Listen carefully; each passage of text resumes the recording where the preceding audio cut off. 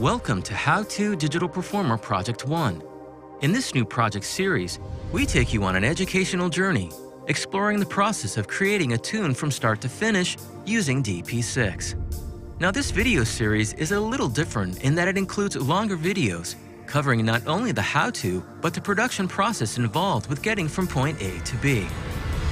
You'll see how to import, edit, and tempo match audio to create a loop, create a MIDI drum pattern with the drum editor and Mach 5.2.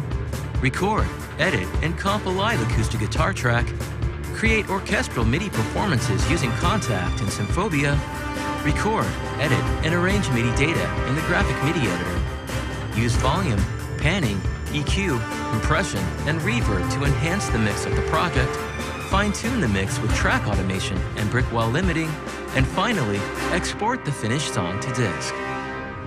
For more info and to order, go to tutorialdepot.com.